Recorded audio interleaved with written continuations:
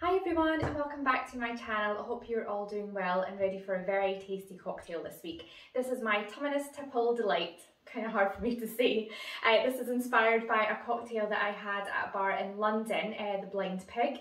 The bar is incredible. It's basically all its cocktails are based on storybooks and things. So this cocktail is my variation of that from there. It's my best friend's favourite cocktail. I've had it twice from there and she's had it as well and she loves it. Whenever she comes over she'll ask for this as well. So it was beautiful. It's sort of like a cocktail version of a Turkish delight. It's really good. So we're going to use gin in this cocktail. We're going to use Lanique, which is our rose liqueur some white chocolate liqueur, some vanilla syrup, some egg white powder and some lemon juice. So let's get going. As always, we're going to start with our shaker. And this week, because I want it quite frothy, I'm going to put in a little spring. Um, I can't remember where I got this from. I think it was from one of these I had um, and I took the spring off and I use it in the shaker. And that means that the egg white is a little bit more frothy. Fingers crossed. It doesn't always work, but fingers crossed. Uh, so we're going to start with the gin and we're going to do 50 mils of this and it's Silent Pool gin that I'm using this week. So 50 mils in here.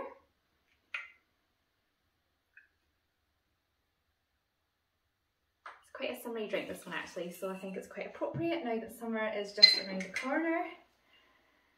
So that was the gin. So we're going to do the 30ml of the rose liqueur. Now I actually have this bottle here which is almost finished so I'm going to use up this first of all. It probably will do me for this cocktail. So there we go.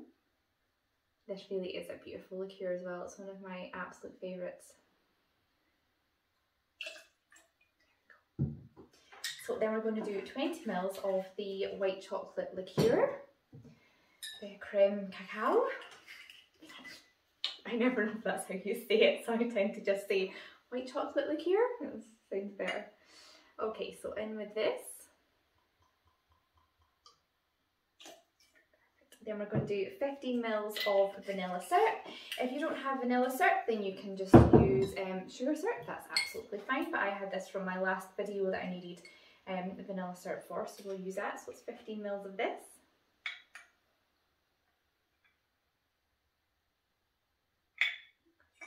And then 15 mils of the lemon juice which I have already squeezed. In here so we'll do 15 mils of this.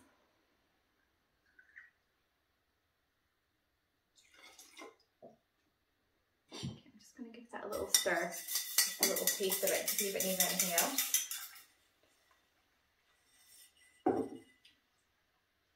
Mm, really nice. I'm going to do a tiny little bit more of the rolls because I really do like tasting quite rosy, if you know what I mean.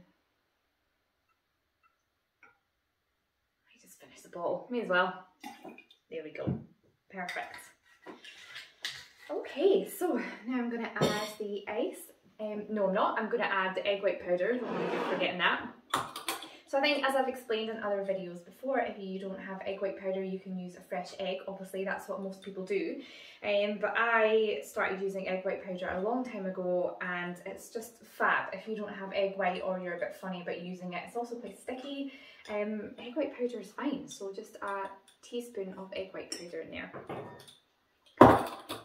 And you don't need to shake it dry and then shake it with ice. You can just put the ice right in and start shaking and I have the spring coily thing in there as well. Add the ice.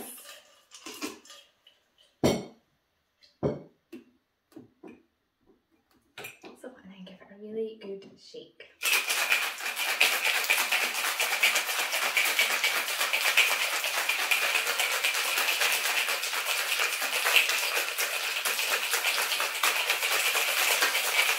I was at home doing this on my own or with me and Ben, I would go really crazy on the shaking to get a really good foamy top, but it doesn't look as good on camera, so I'm trying to be a little bit more sophisticated.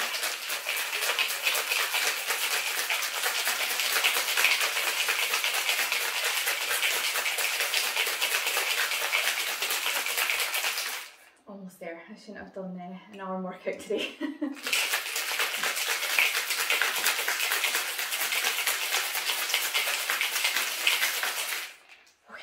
we're to go with that and see what that looks like. So for my glass, I have this really, really gorgeous sort of coupe glass for this beautiful um, little flower design on the outside, which I love, so I'm to use that today.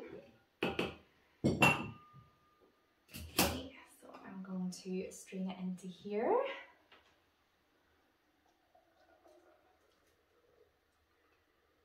such a lovely sort of bubble gum, bubblegum pink flavour, um, colour, sorry.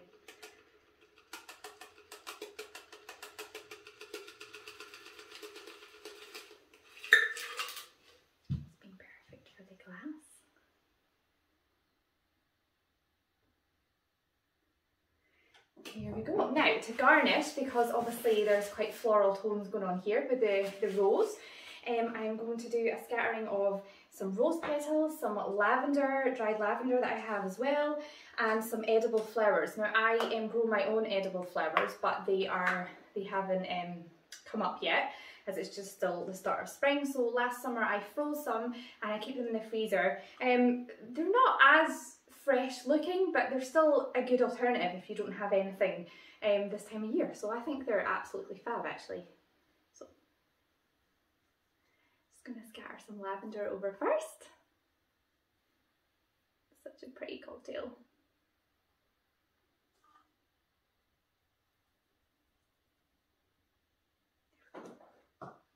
And I have some dried rose petals as well, which obviously goes with the theme of the drink.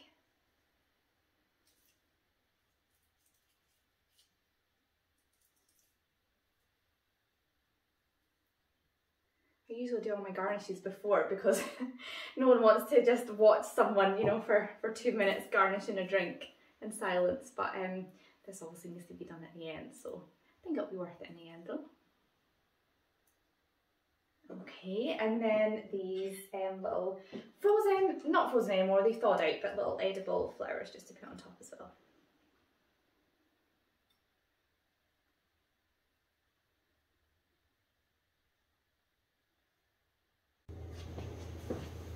There we go, that is my Tumnus Tipple Delight cocktail. I hope that you enjoyed this video. Please join me next week when I will be making a Burrow Original. I invented this cocktail a few weeks ago and I'm really excited to share it with you guys. It's a summertime sadness cocktail, so join me for that. In the meantime, please like, comment and subscribe. Happy cocktailing!